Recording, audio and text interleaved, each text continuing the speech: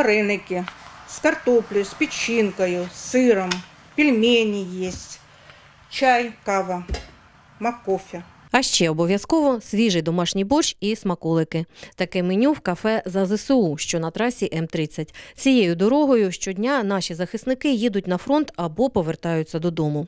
Тут їх зустрічають як вдома, пригощають безплатно. Ідея відкриття закладу належить старості одного з сіл Попельнастівської громади. Побачила допис. В дописі було написано, що одна маленька е, вірменська родина організувала в себе в кафе безкоштовні обіди для військових. Я думаю, господи, ну така гарна ідея. Чому б нам це не зробити? Тому що ну якраз через нашу громаду проходить траса в бік перемоги. Хлопці їздять. Ідею підтримали інші активісти, депутати та волонтери. Місцевий підприємець надав приміщення.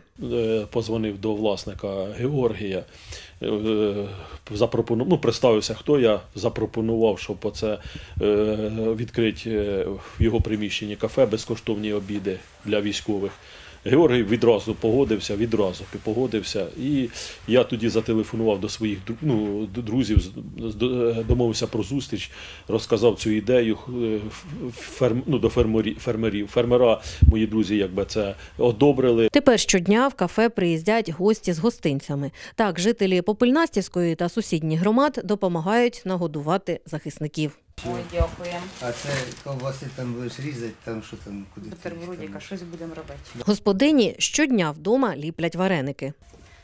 Це в нас волонтери закупили нам морозильну камеру. Це вареники, дякуючи Попельнастівській громаді, які ліплять день і ніч їх. Щодня на частування йде кілька літрів борщу і кілька сотень вареників. Газовий балон, газова плита в нас є. Ми варимо і на цілий день ми бачимо, скільки нам треба, скільки ми готуємо. Е, небайдужі люди з Куколівки варять нам борщ, вже готовий сюди приносять. Військові вражені теплом і гостинністю, з якою їх зустрічають у кафе. Там чайка попить зігріться, цей самий. Там, дякую за чай. Потрібні такі Так, да, да, потрібно.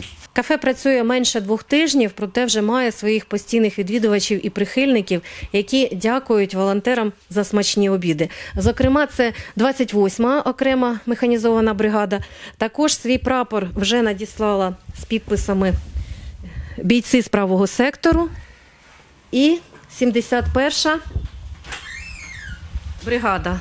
Реалізувавши одну ідею, волонтери взялись за іншу. Е, через дорогу від цього кафе будинок, і він мені неначе не жилий. Було б дуже гарно, якби організувати такий будиночок відпочинку для військових, щоб могли вони могли приїхати, переодягтися, відпочити. Активісти займаються також збором допомоги для придбання обладнання, ремонту автівок для військових. Лише за останні три місяці відправили на передову 12 мавіків. Так, не лише у мріях, а й справами наближають перемогу.